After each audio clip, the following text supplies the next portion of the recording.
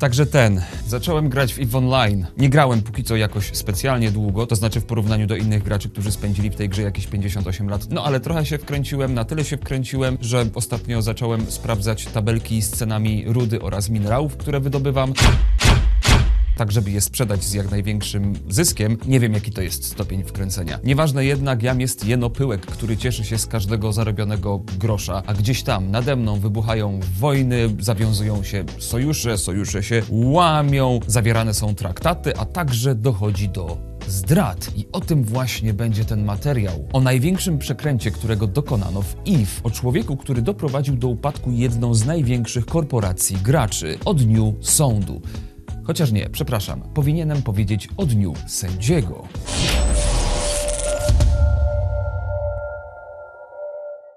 Już wcześniej próbowałem swoich sił w EVE, ale tym razem jednak klikło. Nie wiem na jak długo, ale klikło. No i co zrobiłem? Tak jak powiedziałem, postanowiłem zostać górnikiem grającym na darmowym koncie. Stworzyłem więc postać i wyruszyłem w przestrzeń ku górniczym przygodom. I zapewne ci, którzy wiedzą co nieco o EVE, zdają sobie sprawę z tego, jak jest skomplikowana i dlatego boją się w nią wejść, spytają, czy ta gra ma w końcu dobre samouczki? I odpowiedź brzmi nie. Samouczki w IF tłumaczą podstawy podstaw, czyli w sumie więcej nie tłumaczą niż tłumaczą. Tylko, że po czasie, który spędziłem z tą grą, mam wrażenie, że to jest celowy zabieg. Ale równie dobrze mogę się mylić. Tymczasem wybieram się na swoje pierwsze podboje. Drżyjcie ze strachu. Pasy asteroid? Gdzie tu się klika? A, a dobra.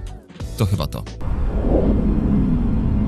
Podejrzewam jednak, że tak wyglądały początki każdej osoby, która zaczynała bawić się w EVE Online, choć na pewnym etapie, na przykład gdy w grze siedzimy już 10 lat, jest to rodzaj pracy na drugi etat, na przykład w zarządzaniu korporacjami, bo na tym właśnie poziomie toczy się tak zwana metagra i ta metagra ma ogromny wpływ na to, w jaki sposób działa nowy Eden, czyli uniwersum EVE. W poprzednim materiale o EVE mówiłem o największej bitwie, która się w grze odbyła. Przekręt, o którym dzisiaj opowiem, jest mniej spektakularny, ale nie mniej efektywny. Powiem więcej, mam wrażenie, że to wydarzenie wpłynęło na historię EVE w równym, o ile nie większym stopniu niż ta największa bitwa. We wrześniu 2017 roku gracz o ksywie The Judge zmienił barwy korporacji. W sumie to jest normalne i nie byłoby to nic nadzwyczajnego ani strasznego, gdyby nie to, że The Judge był swego rodzaju klucznikiem korporacji, wysoko postawionym dyplomatą oraz osobą, która sprawowała pieczę nad większością dóbr. Należał do sojuszu Circle of Two, w skrócie CO2, i ten sojusz należał do koalicji Imperium,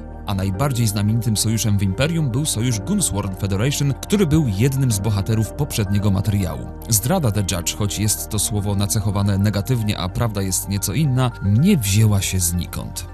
Circle of Two, a w szczególności jej przywódca, Giggs, nie miał zbyt dobrej opinii, choć wewnątrz organizacji był otoczony czasami nabożną wręcz czcią. Generalnie Giggs był półbogiem, a jego słowo prawem. Gdy w 2016 roku wybuchła tzw. Tak wojna kasynowa, Casino War, Circle of Two należało do koalicji Imperium, które zostało zaatakowane przez wrogie sojusze takie jak Pandemicum oraz Northern Coalition, a także kilka innych. Przestrzeń Circle of Two została podbita dosyć wcześnie przez wrogie siły i wtedy CO2 postanowiło zmienić strony. Stało się to po bitwie o M-OEE8 w marcu 2016 roku, gdy po przegranym boju The Judge opublikował na reddicie wiadomość, że CO2 ucina wszelkie związki z Imperium i jak sam The Judge przyznaje, wtedy również i jemu wydawało się to najlepszym posunięciem. Natomiast przedstawiciele Gunsworn odebrali to jako zdradę, a Circle of Two stało się wrogiem numer jeden. Kolejne decyzje Circle of Two były raczej niefortunne. Po Casino War sojusz sprzymierzył się z Test Alliance, ale po jakimś czasie Giggs zaczął torpedować ten sojusz, torpedować stosunki między tymi dwoma ugrupowaniami, aż w końcu postanowił ich zdradzić i doprowadzić do kolejnej wojny. Gdy Test Alliance dostał wsparcie sojuszu Pandemic, sprzymierzeńcy Circle of Two, czyli Triumvirate, widząc, że mają przed sobą rzeczy nie do wygrania, skapitulowali. Koalicja CO2 z Test Alliance była m.in. owocem pracy negocjacji The Judge, a działania Giggsa, które doprowadziły do rozpadu koalicji, zaprzepaściły jego starania. Pomimo tego, że Circle of Two na tej zdradzie się przejechało, ciągle było potężną organizacją posiadającą ogromną flotę oraz własnego Keepstara, czyli taką wielką stację, miejsce, gdzie członkowie sojuszu trzymali swoje statki oraz dobra. Zmiana barw nie nastąpiła jednak w grze, to znaczy nastąpiła w grze, ale później najpierw stało się to w rzeczywistości. Mówiłem, że metagra EVE toczy się poza grą. CCP powołało do życia Radę Council of Stellar Management. Jest to coś w rodzaju spotkania, szczytu dyplomatycznego, takiego na żywo, na którym demokratycznie wybrani przedstawiciele graczy spotykają się z twórcami w Reykjaviku, no i z tymi właśnie twórcami omawiają stan gry, przyszłość, kolejne patche, co wypadałoby zmienić, a także, skoro przedstawiciele największych korporacji są na miejscu, nic nie stoi na przeszkodzie, żeby, no wiecie, pobawić się trochę w dyplomację. Odkąd CO2 stało się dla sojuszu Gunsworn wrogiem numer jeden, ich przedstawiciel w Radzie, Arendt, próbował wybadać, który z topowych członków Circle of Two może zdradzić i zmienić barwy. Na 11 zebraniu Rady padło na The Judge. Na kolejny krok musiał czekać aż rok. Jednak już na tym etapie było wiadomo, że The Judge nie jest zadowolony z działalności swojego lidera. Arendt to wiedział. Wiedział również, że działania Circle of Two mogą doprowadzić do kolejnej wojny. A skąd to wiedział? Miał szpiegów. Tak, szpiedzy w innych organizacjach. Gra o tron. To właśnie w trakcie 12 Rady Gwiezdnego Zarządzania, pielęgnowana przez The Judge koalicja Circle of Two oraz Test Alliance waliła się przez działania Giggsa. I to był moment, który Arendt miał wykorzystać. Na początku mówiłem, że samouczki w IF tłumaczą raczej niewiele i mówiłem też, że mam wrażenie, że jest to celowy zabieg, ponieważ to poniekąd zmusza nas do tego, żebyśmy od razu weszli w kontakt z innymi graczami. IF to jest gra społeczna, nastawiona na społeczność, bardziej niż jakiekolwiek znane mi MMO, dlatego kontakt z graczami, przynajmniej pośredni za pomocą przeróżnych forów, jest bardzo wskazany, wręcz konieczny, żeby gdziekolwiek zajść. I w jednym z wątków Reddita, na który trafiłem, w którym użytkownik poruszał przyjazność społeczności i tą pomocność społeczności i chwalił ją bardzo, zobaczyłem odpowiedź, która brzmiała: Tak, są przyjaźni, dopóki nie masz czegoś wartościowego, co można ukraść. I to całkiem nieźle rezonuje z tym, o czym mówimy dzisiaj. I szczerze mówiąc, nikt tutaj, przynajmniej w moim doświadczeniu,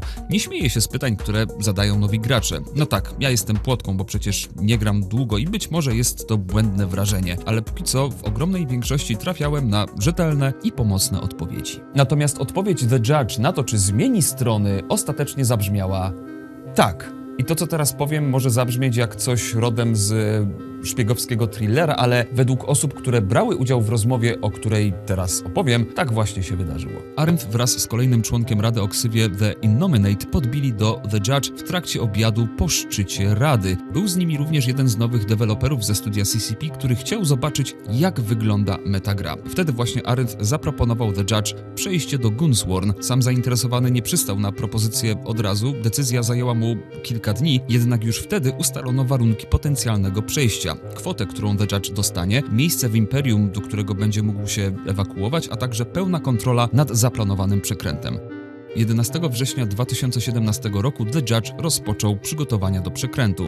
Poczekał, aż Giggs pójdzie spać. Giggs był serwem, tak więc mieszkał w zupełnie innej strefie czasowej. I gdy The Judge upewnił się, że Giggs już śpi, przystąpił do działania. Pierwszym co zrobił było opróżnienie skrzynek Circle of Two, kradzież wszystkiego co mógł ukraść. Potem przekazał kontrolę nad mniejszymi cytadelami sojuszowi Test Alliance, a w końcu zmienił własność stacji Keepstar, gdzie swoje statki miało około 5000 graczy. To właśnie wtedy wszystko się wydało, ale to było do przewidzenia, a poza tym nie było już odwrotu.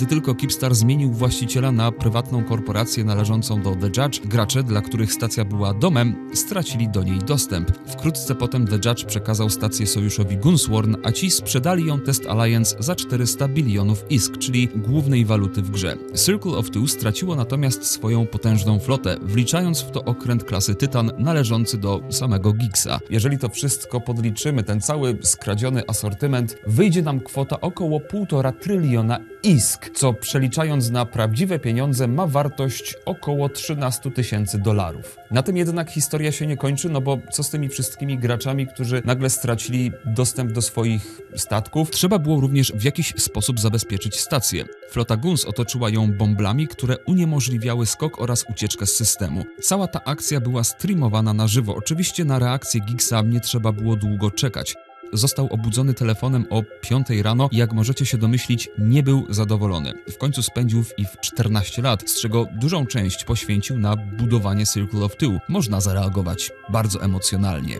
Od razu podjął próby kontaktu z byłym kolegą z sojuszu, ale spełzły one na niczym. Jednak jego reakcja kosztowała go znacznie więcej. Napisał do członków sojuszu takie słowa: Ktokolwiek zna jego prawdziwe imię i nazwisko, adres zamieszkania oraz inne detale, niech pisze. The Judge, używaj swoich rąk, póki możesz. I ta wiadomość została wyemitowana w trakcie streama na żywo. Do studia CCP zaczęły spływać skargi dotyczące grożenia komuś w prawdziwym życiu. Studio zareagowało dożywotnim banem dla Giggsa. Oczywiście ban wywołał spore kontrowersje. Jedni gracze byli za jego podtrzymaniem, inni z kolei mówili, że no cóż, nie zachował się dobrze, ale mimo wszystko działał pod wpływem ogromnych e, emocji i te emocje no, wywołały taką reakcję. Studio jednak pozostało niewzruszone i ban został podtrzymany. Sam Giggs natomiast odniósł się do niego w taki sposób. Znam zasady, dożywotni ban jest niesprawiedliwy, ale zdecydowanie zasługuje na karę. W tym momencie 14 lat mojego życia zostały mi zabrane, ale zdecydowanie zasługuję na karę za to, co powiedziałem. Potrzebuję przerwy od gry, ale nie zabierajcie mi jej na zawsze.